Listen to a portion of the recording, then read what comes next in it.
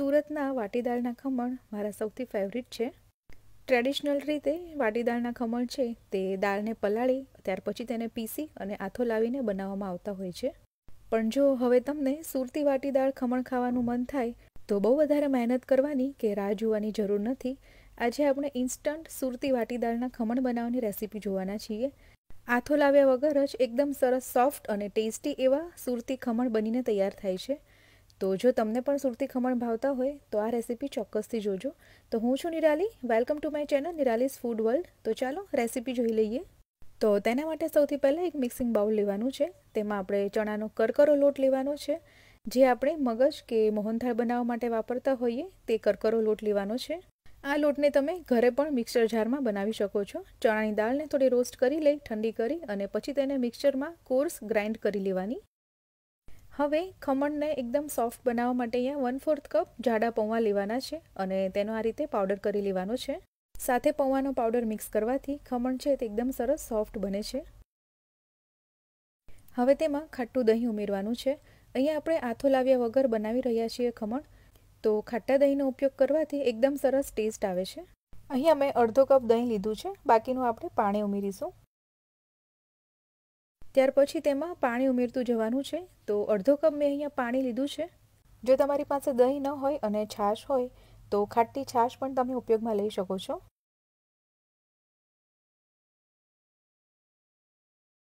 તો અડધો કપ પાણી મેં પહેલાં ઉમેર્યું હતું. ફરીથી હું વન ફોર્થ કપ પાણી ઉમેરી રહી છું. તો આ રીતે તમારે થોડું થોડું પાણી ઉમેરતા જઈ અને મિક્સ કરતું જવાનું છે, જેથી બેટરની કન્સિસ્ટન્સી છે તે એકદમ પરફેક્ટ બને. તો એકદમ સરસ રીતે મિક્સ કરી લઈ અને એકદમ લમ્સ ફ્રી એવું બેટર બનાવીને તૈયાર કરવાનું છે. હવે ઢાંકી દઈ અને અડધી કલાક માટે આપણે તેને રાખી દઈશું. જેથી ચણાનો લોટ છે તે સારી રીતે દહીંને એબ્ઝોર્બ કરી લે. તો ત્રીસ મિનિટ થઈ ગઈ છે. બેટરની કન્સિસ્ટન્સી આપણે હવે ચેક કરી લઈએ. તો હજી થોડું પાણીની જરૂર લાગી રહી છે મને. તો બે ચમચી અહીંયા હું પાણી ઉમેરી રહી છું અને પાણીને બેટર સાથે મિક્સ કરી લેવાનું છે. તો આ રીતની બેટરની કન્સિસ્ટન્સી હોવી જોઈએ. તમે જોઈ શકો છો કે નીચે એકદમ આસાનીથી પડી રહ્યું છે ચમચીમાંથી. હવે તેમાં એક ચમચી આદુ અને લીલા મરચાંની પેસ્ટ ઉમેરી દેવાની છે.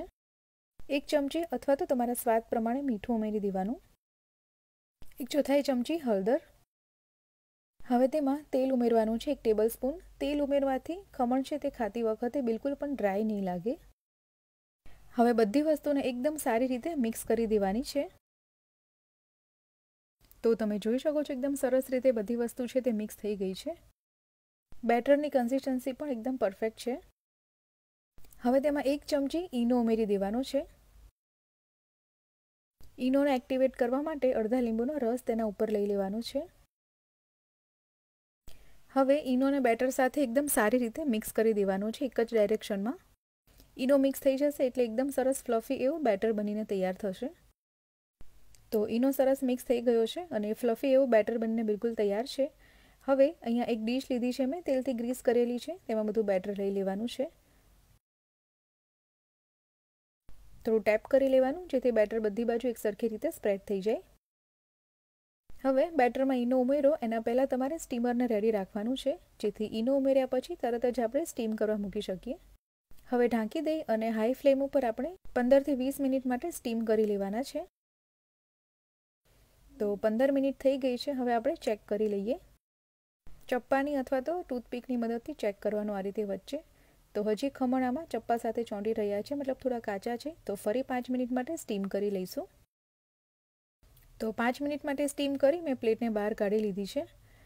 ખમણ ઠંડા થાય છે, ત્યાં સુધી આપણે વઘાર તૈયાર કરી લઈએ. તો એક કોઈ પણ પેન કે કઢાઈમાં બે ટેબલ સ્પૂન તેલ ગરમ કરવા મૂકવાનું છે. તેલ ગરમ થઈ જાય એટલે તેમાં એક ટેબલ સ્પૂન રાઈ લઈ લેવાની છે. રાઈ સરસ ફૂટી જાય એટલે તેમાં એક લીલા મરચાંને આ રીતે ટુકડા કરી અને લઈ લેવાનું. મરચાંને થોડા ફ્રાય કરી લેવાના, ત્યાર પછી તેમાં પાણી ઉમેરવાનું છે. તો અડધો કપ હું અહીંયા પાણી ઉમેરી રહી છું. અડધી ચમચી મીઠું ઉમેરવાનું છે. આપણે ખમણમાં ઓલરેડી ઉમેર્યું હોય એટલે પાણીના પૂરતું જ ઉમેરવાનું છે મીઠું.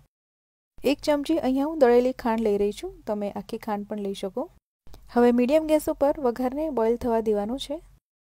ત્યાં સુધી આપણે ખમણ જે ઠંડા કરવા મૂક્યા હતા તેને કટ કરી લઈએ. તો આ રીતે કોઈપણ ચપ્પાની મદદથી તમારે ખમણને કટ કરી લેવાના છે અને ઠંડા થાય ત્યાર પછી જ કટ કરવાના, નહીં તો બરાબર રીતે કટ નહીં થશે. તો અહીંયા મેં કટ લગાવી દીધા છે અને વઘાર પણ આપણો હવે સરસ બોઇલ થઈ ગયો છે, તો ગેસ બંધ કરી દેવાનો છે. ખમણ જે કટ કરીને રાખ્યા છે તેને આ રીતે તવેથાની મદદથી બહાર કાઢી લેવાના છે એક બાઉલમાં. અને ત્યાર પછી તેના ઉપર આપણે જે વઘાર તૈયાર કર્યો છે તે ઉમેરીશું. તો અહીંયા તમે જોઈ શકો છો એકદમ સરસ જાળીદાર એવા ખમણ બનીને તૈયાર થયા છે. તો અહીંયા અમે બધા ખમણને એક બાઉલમાં લઈ લીધા છે અને વઘાર જે આપણે તૈયાર કરીને રાખ્યું છે તે વઘાર આ રીતે ઉપરથી રેડતો જવાનો છે. થોડો વઘાર ઉમેરી અને આ રીતે ઢોકળાને મિક્સ કરી દેવાના છે. જેથી બધી બાજુ એક સરખો વઘાર છે તે લાગે ખમણ ઉપર. ફરીથી વઘાર રેડતું જવાનું છે. તો આ રીતે બધા ખમણ ઉપર એકદમ સારી રીતે વઘાર છે તે લઈ લેવાનો છે. ત્યાર પછી છેલ્લે ઝીણી સમારેલી કોથમીર સ્પ્રિંકલ કરી દેવાની. સૂકા ટોપરાનું છીણ સ્પ્રિંકલ કરી દેવાનું છે. આ ખમણ સાથે ટોપરાના છીણનો ટેસ્ટ ખૂબ જ સરસ આવતો હોય છે. તમારી પાસે જો ફ્રેશ નાળિયેર હોય તો એનું પણ છીણ કરી અને આમાં સાથે ઉમેરી શકાય. ફરીથી એક વખત આ રીતે બાઉલને હાથમાં લઈ અને ખમણને મિક્સ કરી દેવાના છે. જેથી કોથમીર અને ટોપરાનું છીણ બધા ખમણ સાથે એક સરખી રીતે મિક્સ થઈ જાય. તો એકદમ સ્વાદિષ્ટ અને સોફ્ટ એવા સુરતી ખમણ બનીને બિલકુલ તૈયાર છે. તો જો તમને પણ વાટીદારના સુરતી ખમણ ભાવતા હોય અને આ રીતે તમે ક્યારેય ન બનાવ્યા હોય, તો ચોક્કસથી ટ્રાય કરજો. એકદમ સરસ લાગે છે ટેસ્ટમાં.